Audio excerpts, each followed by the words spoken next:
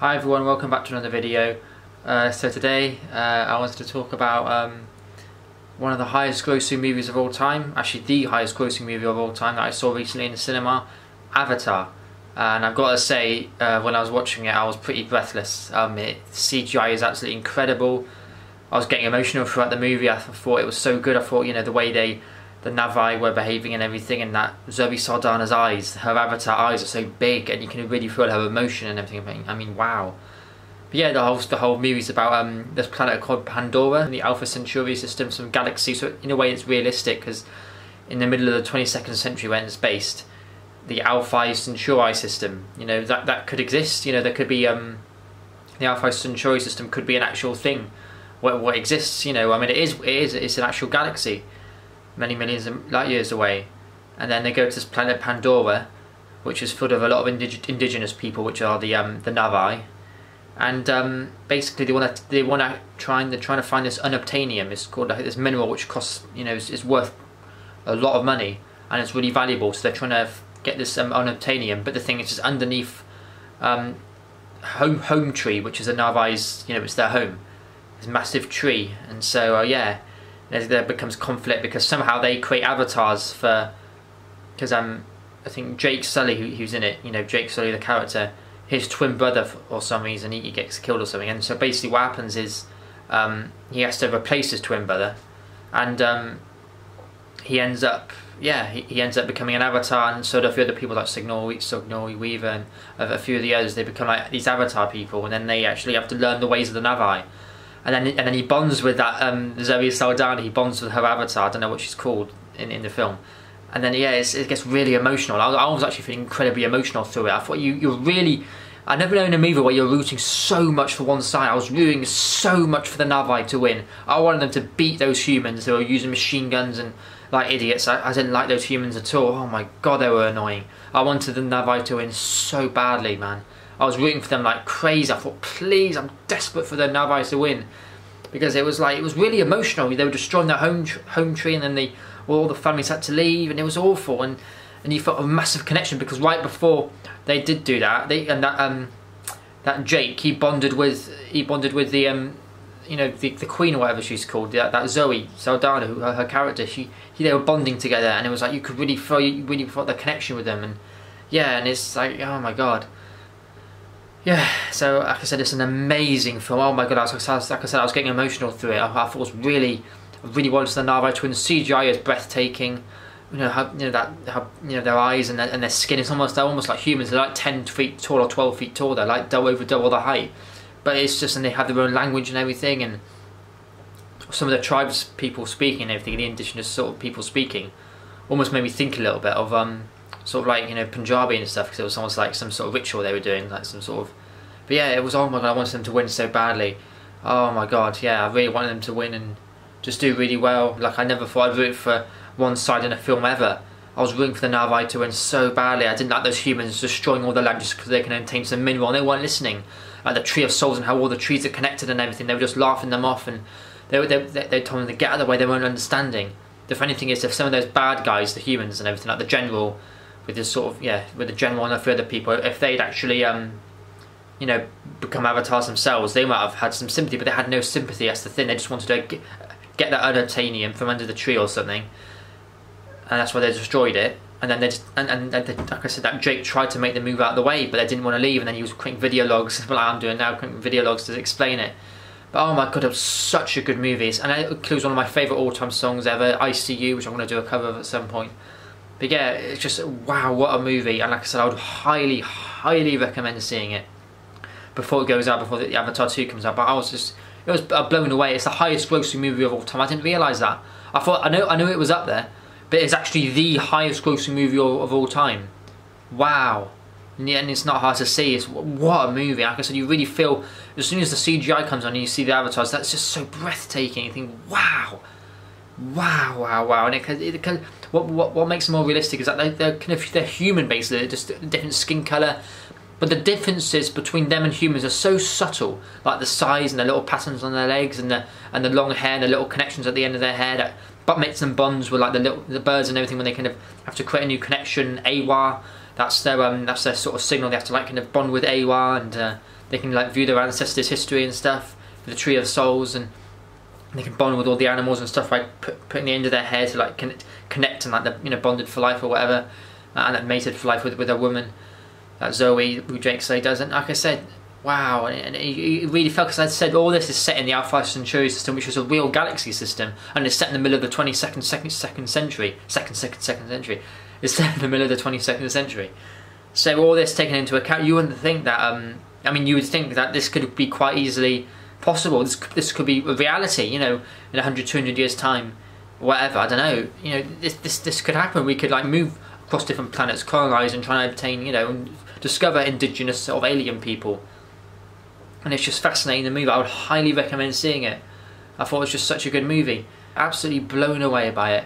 I mean, I saw it before. I think I saw it in 2010 when I was actually in year. I was in year 10 or if it was before September 2010, I was in year 9 in St John's Marlborough Theatre on the Hill. Possibly just after we moved, we moved, just after we moved into the new school. But um, yeah, wow, what a movie! I said, I'd highly, highly recommend seeing it. It's just a breathtaking movie. The CGI will blow you away. I was getting emotional. I was almost like almost to tears. I was getting really emotional about the Navajo because it's so realistic, and you're really rooting for them. You really feel sorry for them. You know, the connection they seem so gentle, and they just want to.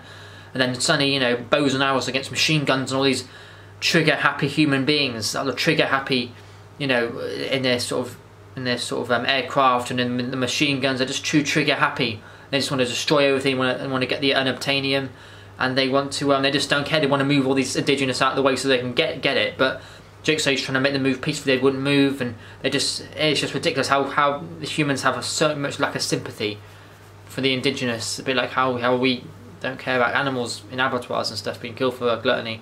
But I'm just saying, you know, that's the thing. And the funny thing is, James Cameron's a vegan. James Cameron, the movie who, who directed, he also directed The Game Changers, um, or pro helped produce it. Sorry.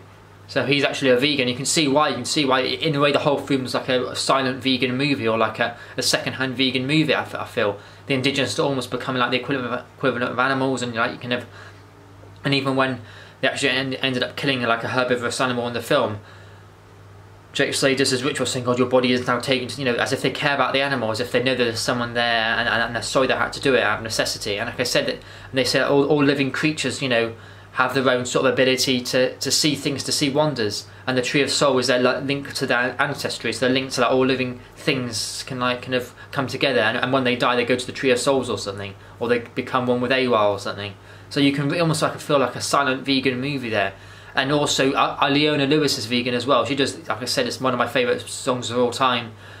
It appears at the credits, and I think it appears a bit slow at the credits, but it's one of my all-time favourite songs. Absolutely love it. I haven't done a cover of it yet. I might wait till I'm clean shaven for that, but it's just absolutely my all-time favourite songs.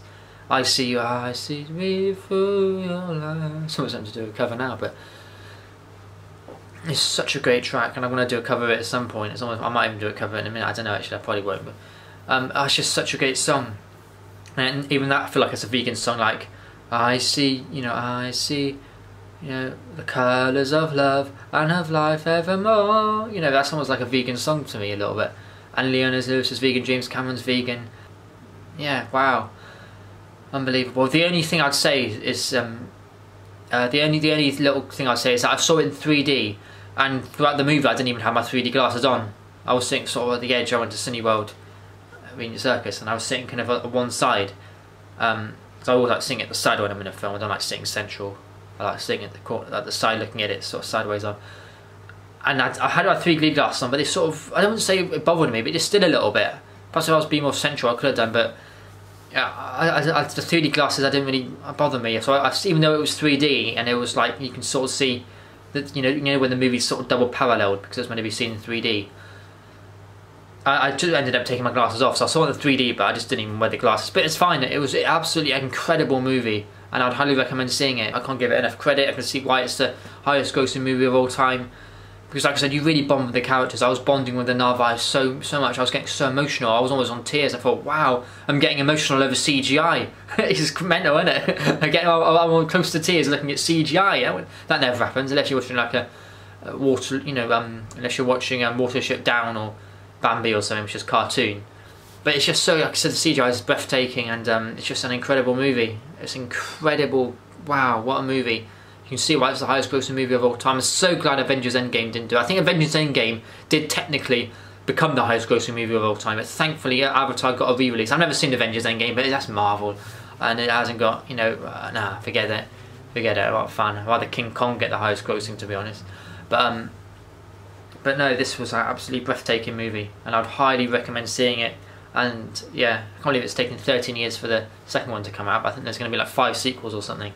But yeah, um, I highly recommend seeing it because it's just one of the best movies ever and you, you, you might get close to tears, you know, watching it, watching the Na'vi, watching the victuals, and watching the humans coming and not desperately wanting the humans to lose. I wanted the humans to get, I wanted those human beings to get hung, drawn, and quartered, brazen bull, impaled, death by a thousand cuts. You know, I wanted them to get all of that old ancient torture method to those trigger happy cunts. I wanted them to get all of all of the, the anger that I was feeling and all the emotion that I wanted the Na'vi to do well.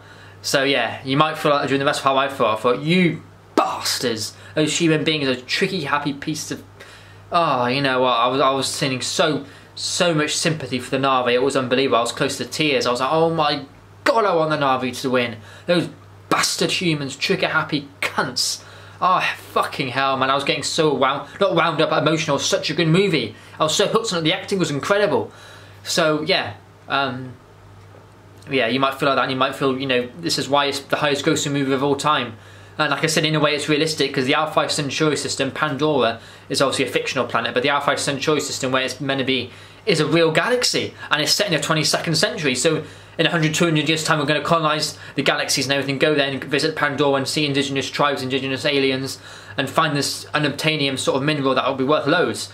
I mean, I mean, so valuable. So it's actually realistic in this, in a sense funny thing is, my dad said he didn't want to see it. It's like full of all blue people and stuff. But the funny thing is, it, I don't know. But yeah, any, anyway, it's such a good movie. But um, yeah, I would highly recommend seeing it. Yeah, wow, what a movie! Can't wait for Avatar 2: The Way of Water. That's why I'm wearing a blue top as well. You can probably see the top of it. So, so yeah, what a movie.